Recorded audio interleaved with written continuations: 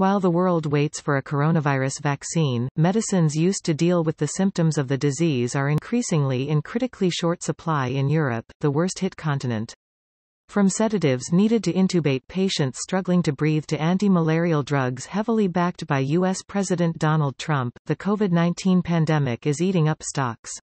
The European Medicines Agency said on Monday that the continued availability of medicines, in particular those used for patients with COVID-19, is of critical concern for EMA. Some EU member states have indicated that they are starting to see shortages of certain medicines used for patients with COVID-19 or are expecting such shortages to occur very soon, the Amsterdam-based regulator said in a statement.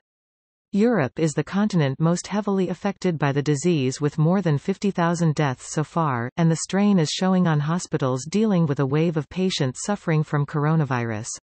Nine major European hospitals launched an appeal for help at the end of March, asking for international cooperation to guarantee a steady supply of medicines for the disease.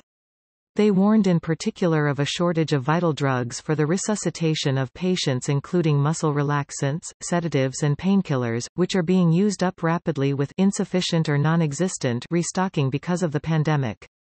The situation led the EMA to take urgent measures under which each pharmaceutical company must report directly to the agency to speed up communications between the industry and the EU on shortages.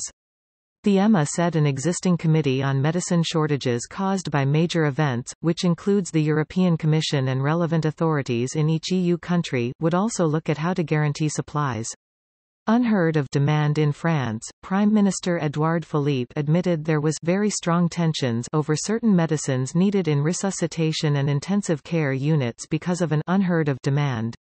The same is true in Spain where the national regulator said there were one-off tensions over the supply of certain medicines used in intensive care, especially sedatives for intubation.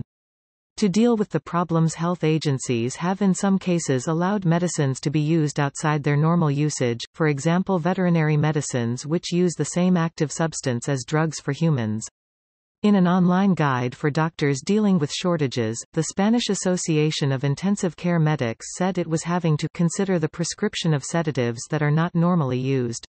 French officials said they were in contact with laboratories to ensure rapid restocking of scarce medicines, while Spanish labs had boosted production.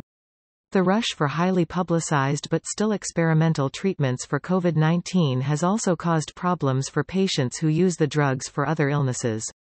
The anti-malarial drugs chloroquine and hydroxychloroquine should only be used to treat COVID-19 in clinical trials or in case of national emergency, the EMA warned last week.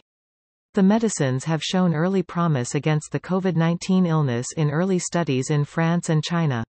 But the EMA said both have a number of potentially serious side effects and there was also a danger of a shortage of hydroxychloroquine, which is also used to treat arthritis. Doctors in Italy, the country hardest hit by the virus, also warned last week that limited stocks of the two drugs could wreck plans to use them in clinical trials. Similar concerns have been raised about a combination of two HIV drugs, lopinavir and ritonavir.